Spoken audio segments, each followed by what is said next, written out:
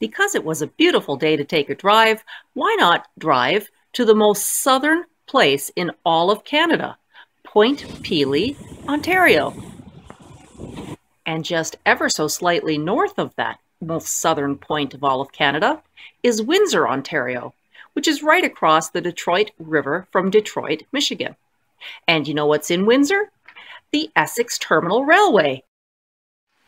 The Essex Terminal Railway, having been founded in the year 1902, is one of the oldest existing railways in Canada. It was founded as the western connection of the Grand Trunk Railway to factories in the east end of Windsor. The Essex Terminal operates on about 34 kilometers or 21 miles of track, and they have four units in their roster. Let's watch them do a little bit of switching.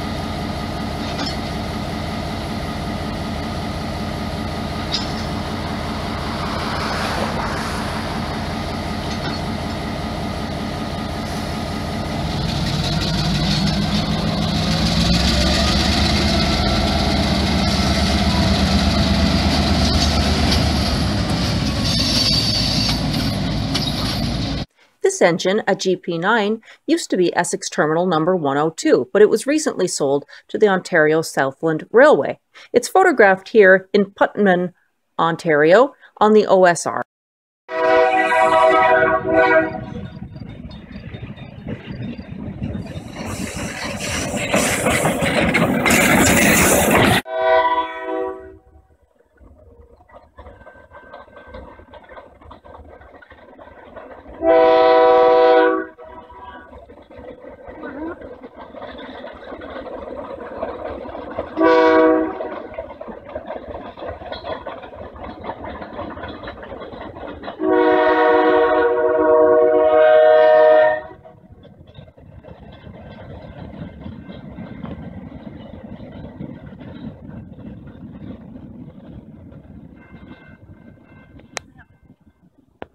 Now, just because you've seen the locomotives, don't fly off just yet, because I wanted to show you the Essex Railway Station.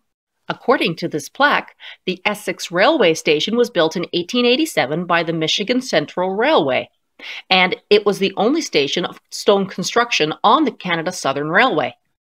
The station was only 20 years old when in 1907 a boxcar loaded with nitroglycerin exploded right in front of the building.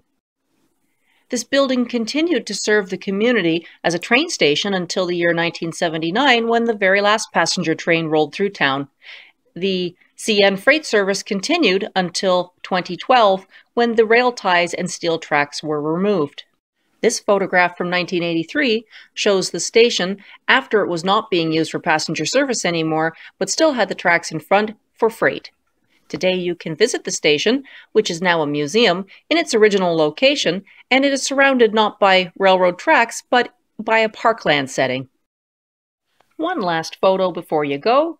So this photograph was taken in August of 1983, and it is the Essex Terminal Railway C420 number 106, which began life as the Lehigh and Hudson River number 22 and it is shown here while stopped waiting for track to be lined up at the entrance to Ojibway Yard.